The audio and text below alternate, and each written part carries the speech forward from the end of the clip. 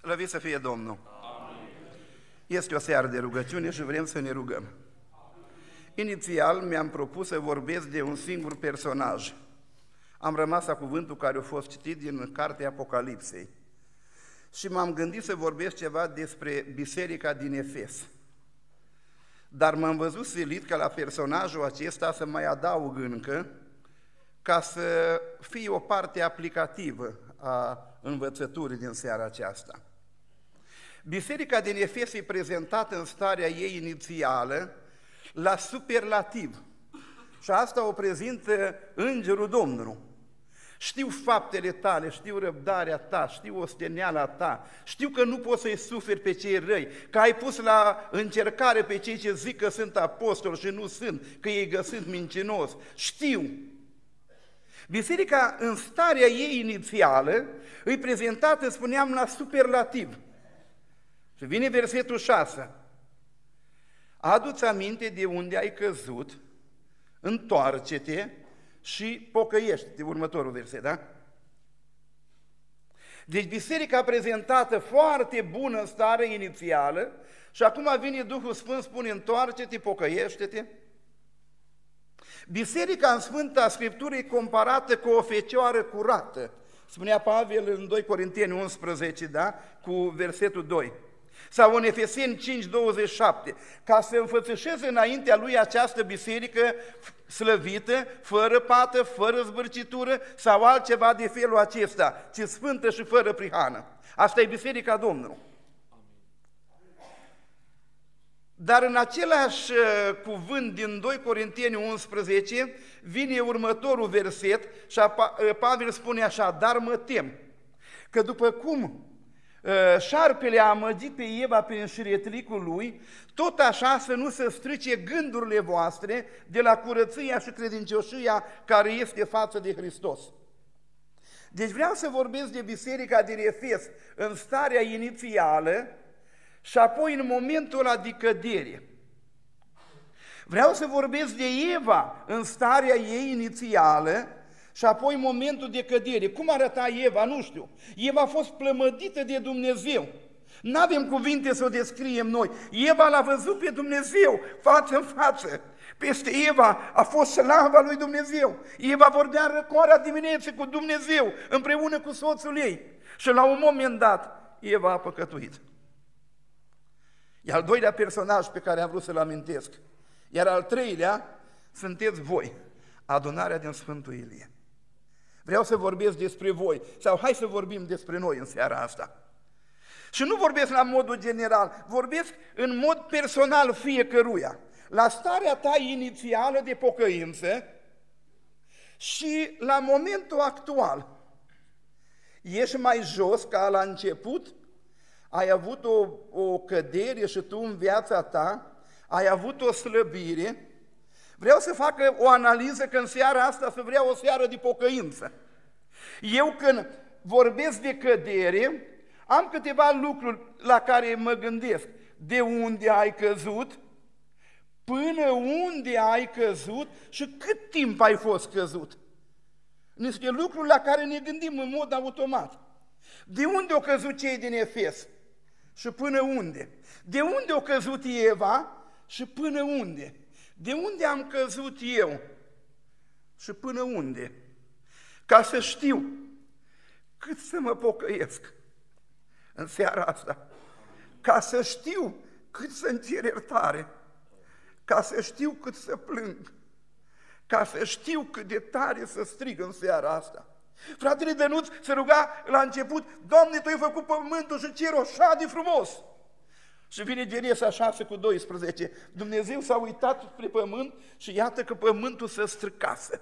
Că toate făpturile îți stricase calea. Cum poate, frații mei, să intervină stricăciunea asta? Și stricăciunea apare la trei nivele diferite. Stricăciune la nivel de gând, că așa spunea Pavel, să nu vi se strice gândurile stricăciune la nivel de vorbă și stricăciune la nivel de faptă. Eu mă verific pe mine. Vreau să fac o rugăciune, încă o rugăciune, încă o săgeată. O rugăciune de pocăință. Și aș vrea să știu cum sunt gândurile mele. Eu m-am gândit întotdeauna, în starea inițială, voi știți cum ați fost, când vă chema Domnul la pocăință, cât posteați, cât vă rugați, cât stăruia și câtă plinătatea Duhului Sfânt, câtă manifestarea darului Duhului Sfânt, câtă frică, câtă teamă de Dumnezeu, cât respect pentru alții, câtă dorință de sfințenie. Și cum se întâmplă că din superlativul acesta la care trăiam noi, vine diavolul și ne strică gândurile? Cum reușește vrăjmașul de acolo, din starea mea desăvârșită, din dragostea din tâi, să-mi strice mie diavolul gândurilor? Cum se poate? Sunt câteva metode. În Ioan 13 spune că în uh, noaptea cinei, după ce diavolul a pus în Iuda Iscarioteanu gândul să-l vândă pe Iisus. Prima metodă pe care o folosește diavolul, prin inducerea gândurilor sale. Cineva mă întreba, frate Dragoș, diavolul știe gândurile omului? E o întrebare care se pune mereu. Probabil că nu le știe. Dar diavolul are capacitatea să-ți inducă ție niște gânduri. Că spune că diavolul a pus în Iuda gândul să-l vândă. Marea bătălie a pocăinței se dă la intrarea porți la gândurile noastre. Cain, pentru ce ți-e întristată fața? Nu e așa că dacă faci bine, bine găsești? Păcatul pândește la uși, dar tu? Și Cain nu l-a stăpânit. Imediat păcatul a intrat în el, hai să ieșim în câmp și-l omoară pe Abel. În fața ușii se dă o bătălie teribilă, bătălia pocăinței, îi bătălia de la gândurile noastre. Diavolul nu are putere să ne sâlească. El ne aduce momeală, ne aduce gânduri până în fața ușă. Și Domnul spune, oameni buni, nu lăsați gândurile să intre. Dar dacă nu suntem atenți, gândurile acestea vin, intră în noi și dintr-o dată ni se strică gândurile de la curăția și credincioșia care este în Isus. La Iuda au venit cu gândul lăcomie. Cronici 21 s-au vorbit în seara asta. Satana s-a ridicat împotriva lui Israel și a atâțat pe David să facă numărătoarea. La smeritul David, că David a fost un om smerit, i-a venit gând de mândrie, peste cât domnesc eu. Ioab fiul țeruie se sizează păcatul și îl întreabă, pentru ce vrea Domnul meu să știe? Să dea Domnul să fie de o mie. Nu, nu, du-te și numări, ca să știu cât de puternic sunt. V-a atacat vreodată un gând de lăcomie? Da, un gând de mândrie.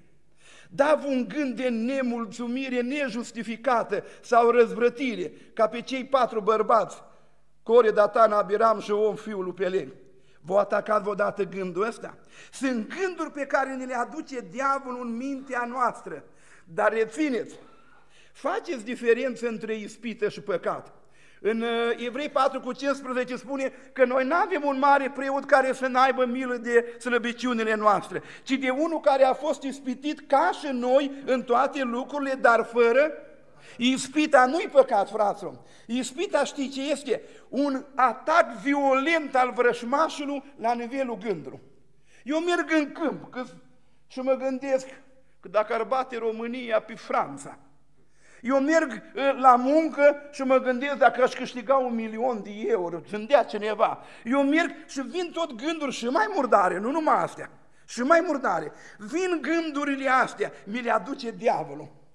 Și el vrea să-mi strice gândurile de la curăția și credincioșia care este în Hristos.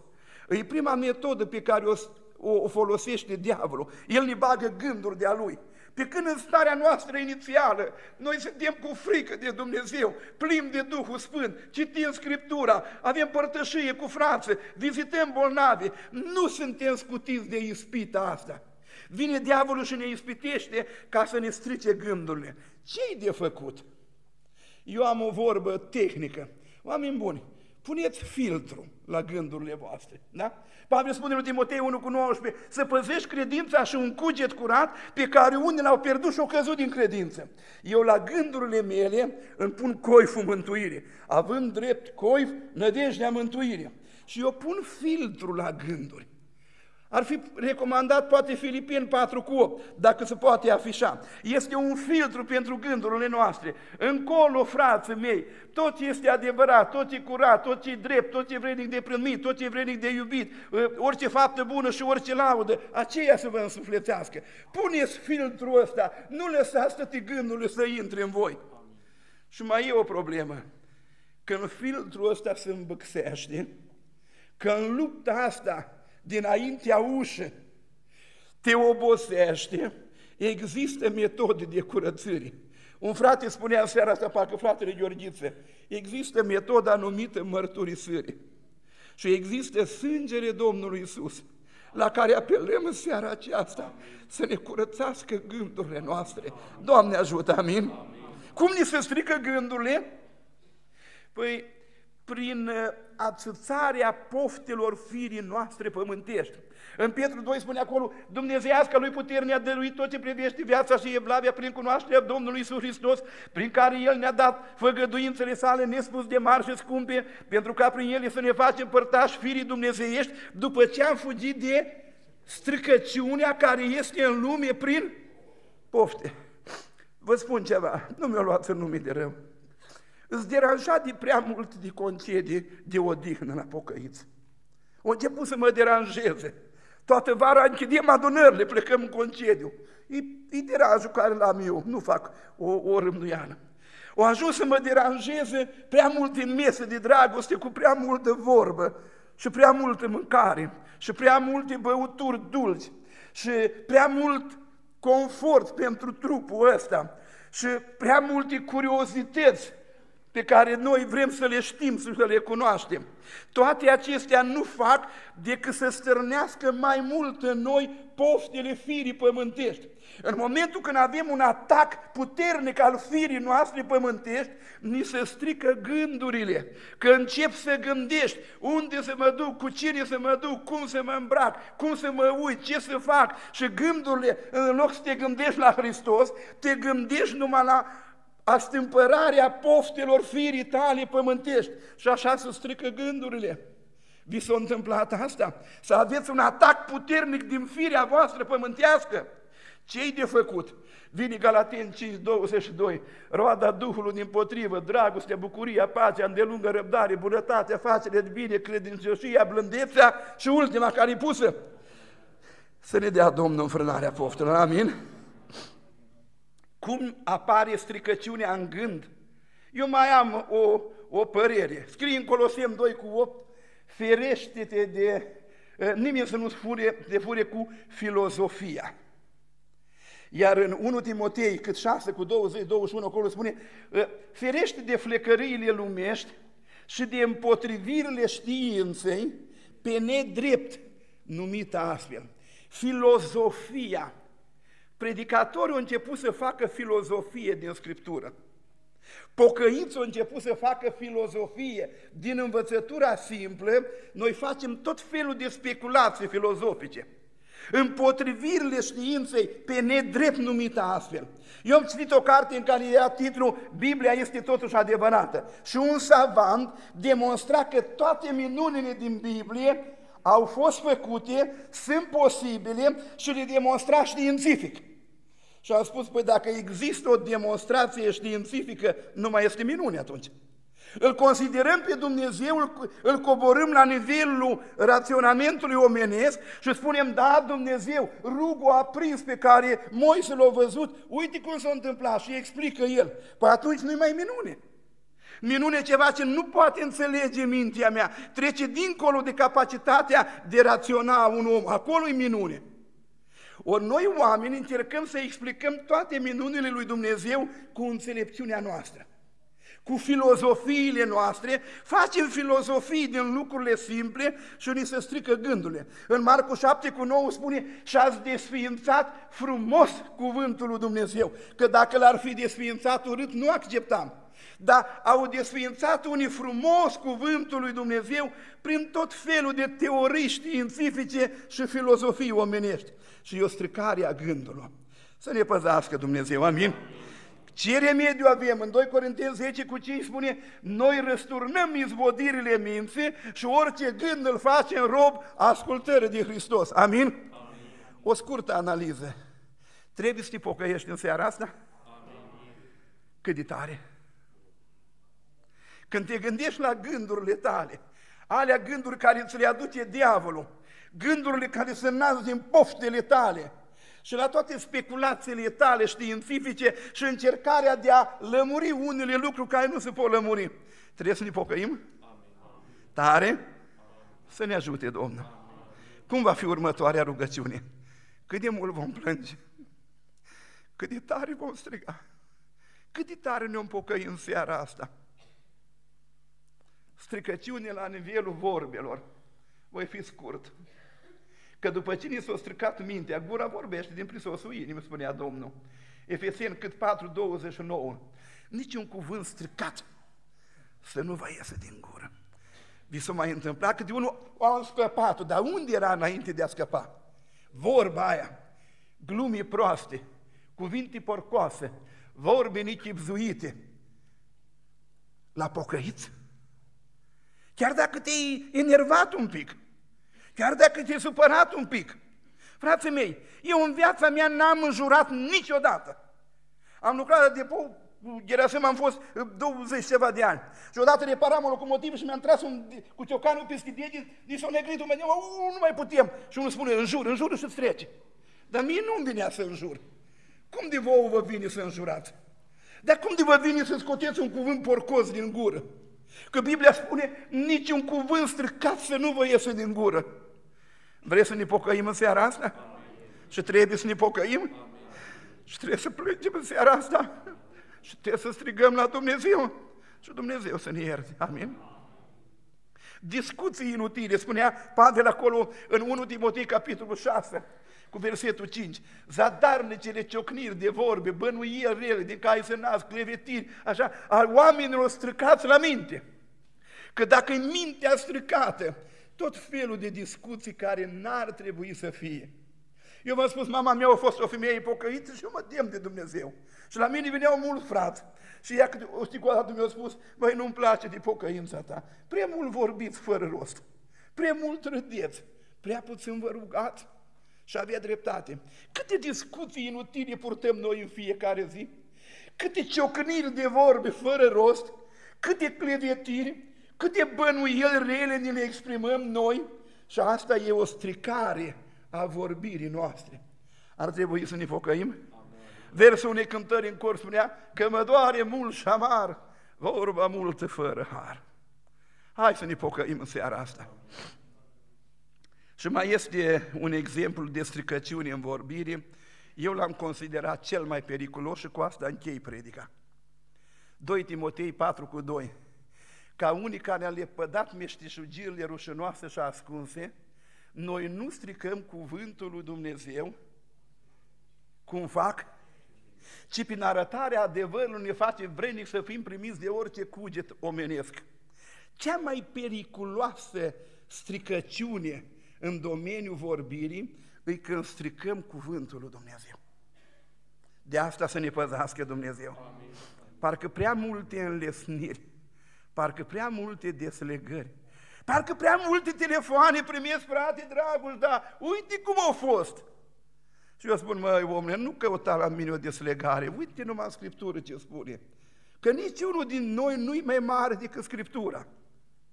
Și când aș, dacă aș vrea să vorbesc, dar nu vorbesc, de stricăciune la nivelul faptei, am găsit că unii sunt victime, că au fost învățați greșit să face evangelizare într-un loc unde nu, nu a ajuns Evanghelia. Depinde cine ajunge și cum învață.